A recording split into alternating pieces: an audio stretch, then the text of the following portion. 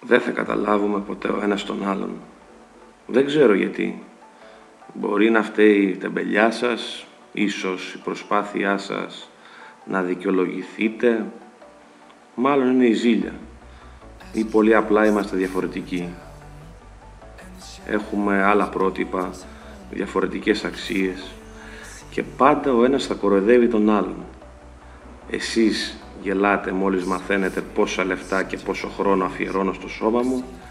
Εγώ γελάω με το πόσα λεφτά σας φεύγουν στη σαβούρα που τρώτε. Το μόνο που σας προσφέρει είναι η ικανοποίηση στον ουρανίσκο και παράλληλα καταστρέφει την υγεία σας.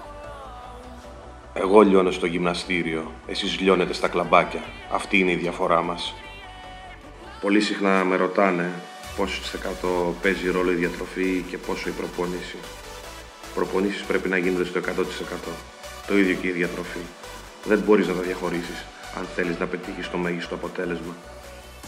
Κανένα φάρμακο δεν σε κάνει πρωταθλητή αν δεν δουλεύεις σκληρά στο γυμναστήριο, αν δεν είσαι συγκεντρωμένος στο στόχο σου και δεν έχεις πειθαρχία. Αυτό είναι που κάνει τη διαφορά στον απλό αθλητή με τον πρωταθλητή. Bodybuilding είναι κάτι παραπάνω από ένα σπορ. Όπου και να πας, ό,τι και να κάνεις, είναι μαζί σου. 24 ώρες το 24ωρο, χωρίς διάλειμμα. Το πρώτο πράγμα που σου λένε όταν σε βλέπουν είναι «Τι πήρες και έγινες έτσι να πάρω κι εγώ» Πού να τους εξηγήσω ότι κάνω 5 με 6 προπονήσεις την εβδομάδα με βάρη στο γυμναστήριο, παράλληλα με διατροφή και αερόβια άσκηση; Έτσι κι αλλιώς δεν θα με καταλάβουν. Μόνο το χρόνο μου θα χαλάσω εξηγώντας. Μην περιμένεις να σε καταλάβουν. Κάνε αυτό που σου αρέσει, γιατί είσαι διαφορετικός. Ο πόνος που νιώθεις σήμερα σίγουρα θα γίνει δύναμη αύριο.